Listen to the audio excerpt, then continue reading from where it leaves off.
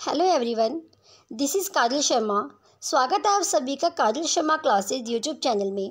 आज की इस वीडियो में हम डिस्कस करेंगे difference between language acquisition and language learning यानी भाषा अधिग्रहण और भाषा अधिगम में क्या अंतर होता है, क्या मीनिंग होता है।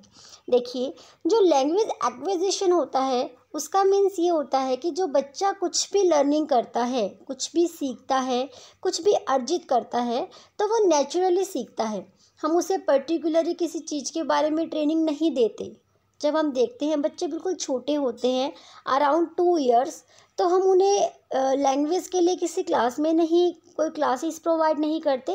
बच्चा अपने आसपास सीखता है, अपनी फैमिली से, अपनी प्राइमरी एनवायरनमेंट में, और वो ग्रास्प कर लेता है चीज़ों को, ठीक है? तो उसी को बोलते हैं लैंग्वेज एक्विजिशन तो डिस्कस करते हैं with the help of notes when we learn something without a systematic and conscious process जब भी हम कोई चीज़ या फिर कोई लैंग्वेज बिना कॉन्शियस प्रोसेस के सीखते हैं ठीक है, उसको बोलते हैं language acquisition and it is a natural process ये एकदम नेचुरल प्रोसेस है. इसमें कोई भी हम आर्टिफिशियल जो एनवायरनमेंट है, वो क्रिएट नहीं करते.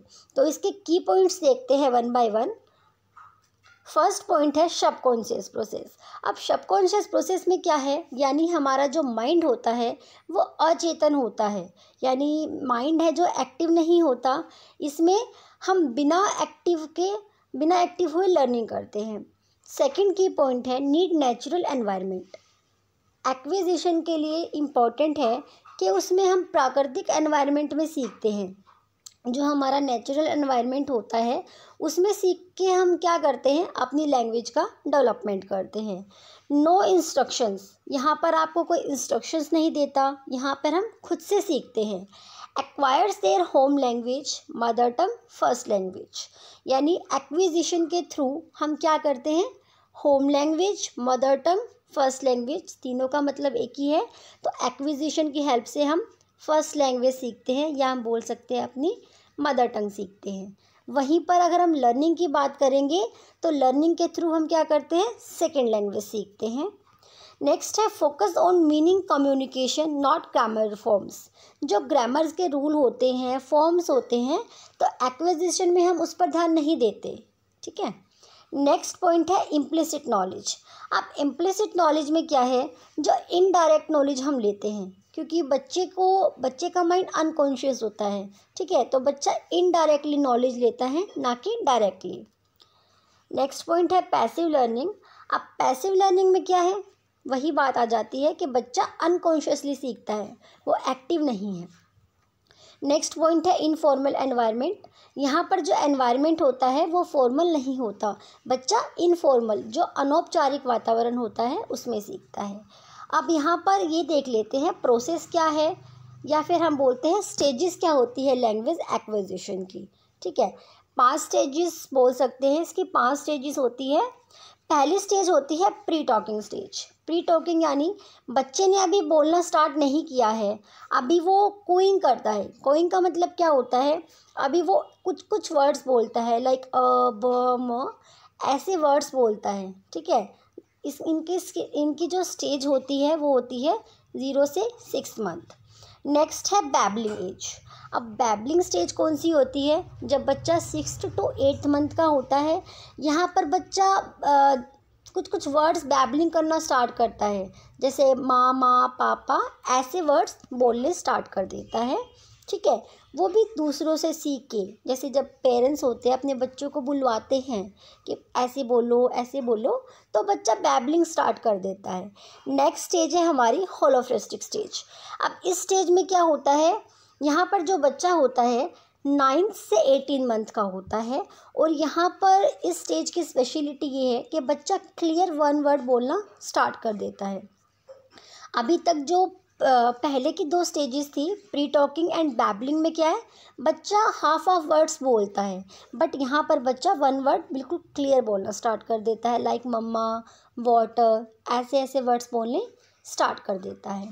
नेक्स्ट है टू वर्ड स्टेज ठीक है? इसमें बच्चा एक से ज़्यादा वर्ड्स बोलता है लाइक टू थ्री ऐसे वर्ड्स बोलता है। इसको हम बोलते हैं मिनी सेंटेंसेस यानी छोटे छोटे छोटे छोटे सेंटेंसेस बच्चा बनाने लग जाता है। और इसका जो टाइम पीरियड होता है, वो होता है eighteen to twenty four months last stage होती है हमारी टेलीग्राफिक स्टेज अब इस स्टेज में क्या होता है? यहाँ पर जो बच्चा है टेलीग्राफिक स्टेज में ट्वेंटी फोर से ट्वेंटी थर्टी मंथ्स का होता है, यानी हम बोल सकते हैं अराउंड टू ईयर्स होता है। Begin to using words with correct meaning. अब इस स्टेज में बच्चा दो से ढाई साल के अराउंड हो चुका है।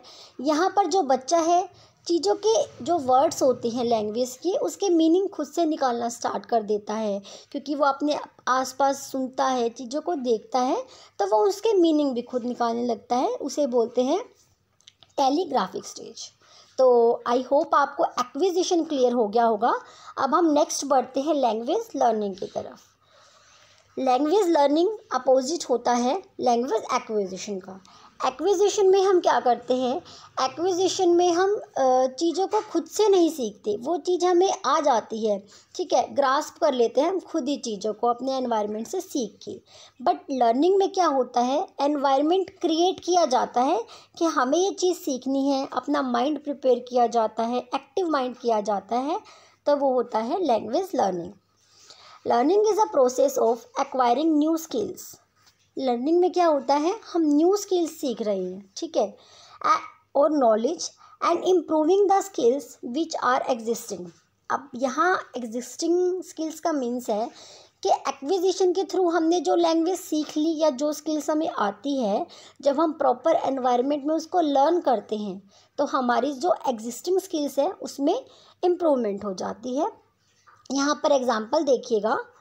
एग्ज़ाम्पल लिया है learning is like a child learns a second language अभी हमने बात की थी लैंग्वेज एक्विजिशन में। जब बच्चा एक्विजिशन करता है तो वो किस लैंग्वेज में करेगा? जो उसकी मदर टंग होगी। वो कोई भी हो सकती है मदर टंग उसकी, जो वहाँ की रीजनल लैंग्वेज या मदर टंग फ़र्स्ट लैंग्वेज होती है। लेकिन जब बच्चा लर्निंग करता है तो वो सेकेंड लैंग्वेज सीखता है। अगर मान लीजिए आपकी फ़र्स्ट लैंग्वेज हिंदी है तो ऑब्वियस सी बात है, बच्चे सेकेंड लैंग्वेज लर्न करेगा लाइक like इंग्लिश ठीक है? इसके की पॉइंट्स देख लेते हैं। की पॉइंट्स में फ़र्स्ट पॉइंट है कॉन्शियस प्रोसेस लर्निंग कैसा प्रोसेस है? कॉन्शियस प्रोसेस यहाँ बच्चा कॉन्शियस होता है कि मुझे ये लैंग्वेज सीखनी है, अपना माइंड प्रिपेयर रखता है। नेक्स्ट है सेकेंड लैंग्वेज सेकेंड लैंग्वेज में क्या होता है? बच्चे को पता होता है कि फ़र्स्ट लैंग्वेज तो उसकी उसकी मदर टंग हुई, लेकिन सेकंड लैंग्वेज वो लर्न करता है। Need formal situation mostly acquisition में क्या हो रहा था? एक्विजिशन में बच्चा अपने आसपास से, अपने एनवायरनमेंट से सीख रहा था। लेकिन यहाँ क्या है? एक फॉर्मल सिचुएशन क्रिएट की जाती है। फॉर एग्जांपल स्कूल स्कूल में बच्चों को एक ऐसा एनवायरनमेंट दिया जाता है, जहाँ बच्चा फॉर्मल वे से लैंग्वेज को या चीज़ों को सीख पाता है। फोर्थ है फोकस ऑन ग्रामर रूल्स अब यहाँ पर क्या है? यहाँ पर ग्रामर रूल्स पर फोकस किया जाता है। नेक्स्ट पॉइंट है हमारा एक्सप्लिसिट नॉलेज अब एक्सप्लिसिट नॉलेज क्या होती है? यहाँ पर डायरेक्ट और क्लियर गोल होता है। ठीक है एक्विजिशन में बच्चा इनडायरेक्टली अभी बच्चा छोटा होता है एक्विजिशन के पीरियड पे तो उसे नहीं पता होता उसे क्या सीखना है, क्या नहीं। उसको जो शब्द अपने आसपास जो लैंग्वेज सुनता है, वो बोलने लग जाता है। भले ही उसको मीनिंग ना आता हो वर्ड का बट यहाँ पर क्लियर गोल होता है तो वो क्या होता है, बच्चा एक्सप्लिसिट करता है चीज़ों को डायरेक्ट और क्लियर गोल होता है। नेक्स्ट है एक्टिव लर्निंग जैसे कि हम पहले ही बात कर चुके हैं कि जो लर्निंग है, बच्चा उसमें एक्टिव होता है और जो एक्विजिशन है, बच्चा उसमें पैसिव होता है, यानी अनकॉन्शियस होता है। लर्निंग में क्या है? चाइल्ड इज़ अवेयर जो बच्चा होता है अवेयर होता है, उसे पता होता है, वो सेकेंड लैंग्वेज सीखेगा कॉन्शियसली सीखता है एक्टिवली एंड अवेयरली सीखता है knowing what he and she is learn thank you video अच्छी लगी हो तो प्लीज़ लाइक करें। मिलते हैं नेक्स्ट वीडियो में।